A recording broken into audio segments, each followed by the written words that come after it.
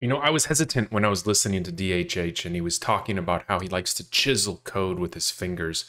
And as I'm using AI to help me code this game, and I'll show you something cool here real soon, um, I agree with him. Even if AI is telling you what to code and why to code it, you have to use your fingers to put it out there. I think just like reading, there's elements of you reading slowly to comprehend something, of using your hands to figure out how to type those words uh, in scripting and C sharp and whatever it may be. So here's some changes that I did, but I, just want to encourage you to go do that. If you're going to use AI to help you code, just type it out yourself, right?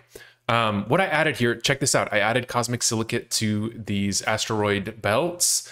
And if you get close enough, you can attach to them and bring them with you.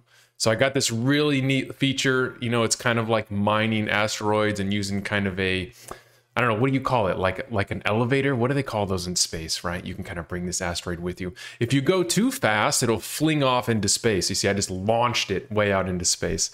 I think that's super cool. Obviously, I'll never get that asteroid back. That's just gone forever.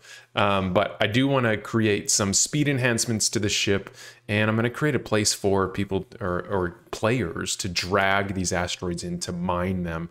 And uh, I'm really just having fun exploring this idea of this game. So uh, that's it for today. I'll see you tomorrow.